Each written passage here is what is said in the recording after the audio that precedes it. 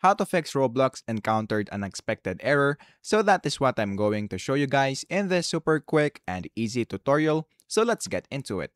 So the first thing that we need to do right here is to of course go into our desktop. And then once you're here, the next thing that we need to do on the search bar is to search for core isolation. Once you click for core isolation right there, just click that one right here.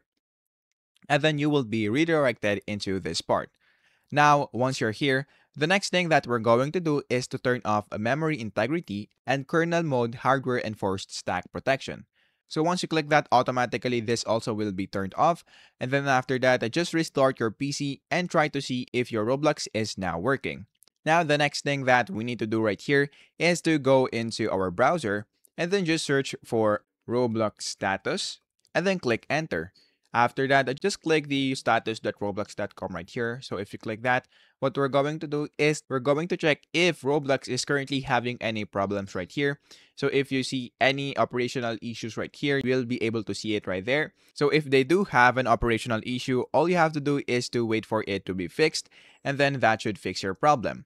Now, the last thing that we can do right here is to go into our search bar once again and then search for add or remove programs and then click this one.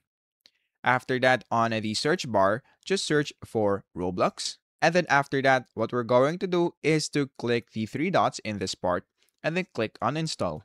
After that, click on install again. And then once you click on install, what we're going to do is to go back into Roblox and then install the app once again. So that is basically it. That is how easy it is. That is how to fix Roblox encountered an unexpected error.